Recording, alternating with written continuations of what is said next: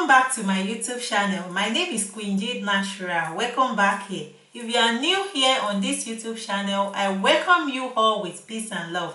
If you have been watching my content before welcome back again. All right family let's get started.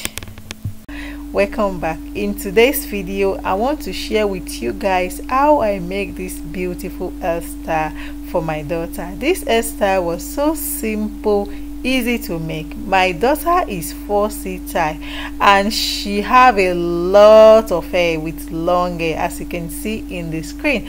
And she don't like anything that will keep her weight while she is doing her hair. She don't want to sit longer. So she wants to just quick make it fast so that she can go and do what she wants to do or play.